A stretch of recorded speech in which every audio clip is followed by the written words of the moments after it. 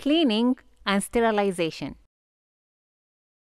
To prevent the spread of communicable diseases and to make sure the CCV remains clean and fully functional, it is critical to follow the cleaning and sterilization processes recommended by your IPC protocol, ministry, or professional body in your country.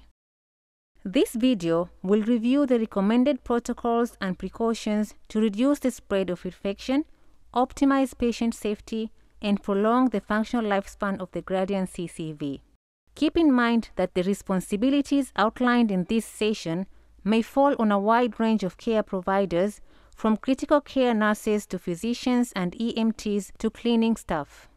It is critical to make each person aware of the tasks that they are responsible for.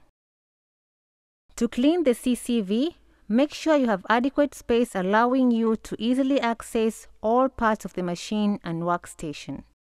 Remove all unnecessary equipment and connections. Then, use a damp rag containing a mild cleaning solution to remove any residue from the surface of the CCV and humidifier. Avoid any oil or petroleum based products. Instead, opt for isopropyl alcohol or a cold disinfecting solution to kill bacteria like Cetylcide or bleach. Reference the CCV user guide for details on approved cleaning solutions and concentrations. Once the CCV and humidifier have been disinfected, use a clean, wet rag to remove any film left behind by the cold disinfecting solution.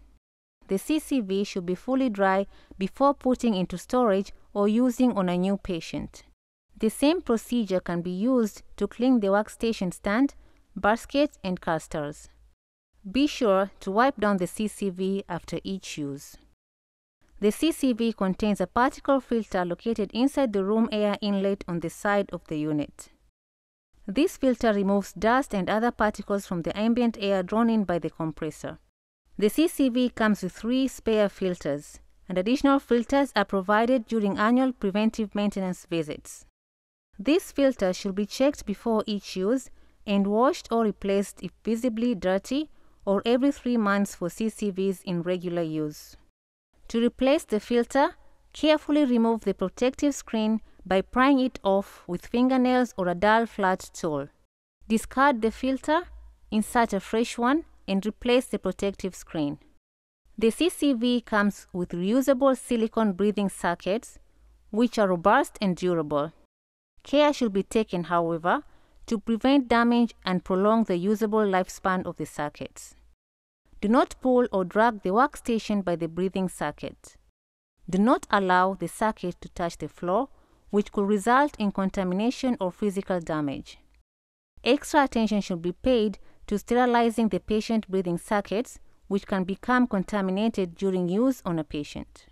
To prevent cross contamination, do not reuse patient breathing circuits without proper disinfection and never reuse circuits intended for single patient use.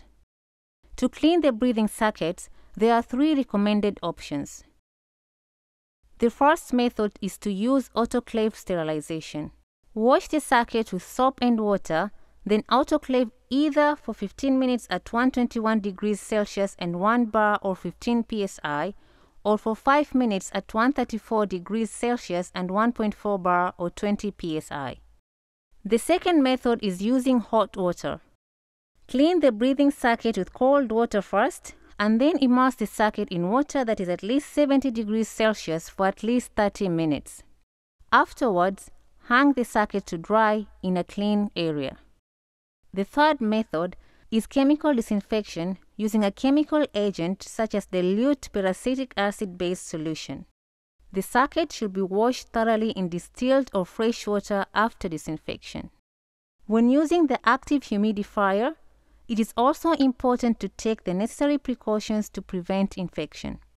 Be sure to clean the humidifier and its accessories before each use. Regularly sterilize the water chamber and water trap. To prevent overflow and reduce the risk of infection, the water trap should be emptied frequently and the condensate should be properly disposed of. Always use distilled water in the water chamber. Before connecting the patient to a CCV, it's important to double check all aspects of the machine and accessories to ensure you're well connected and not introducing infection risk. We'll end this video by summarizing the cleaning and sterilization procedures that should be undertaken before and after each use of the CCV on a patient.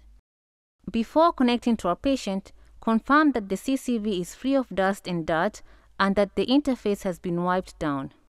Use a sterilized, properly assembled breathing circuit with a fresh bacterial filter or HME filter for each patient. Check that the humidifier is cleaned and ready for use. The water trap should be empty, and the water chamber should be filled with distilled water. Following use on each patient, you will want to prepare the CCV for storage or for use on another patient. Be sure to turn the machine off and properly dispose of the bacterial filter or HME filter. Send the patient breathing circuit for sterilization.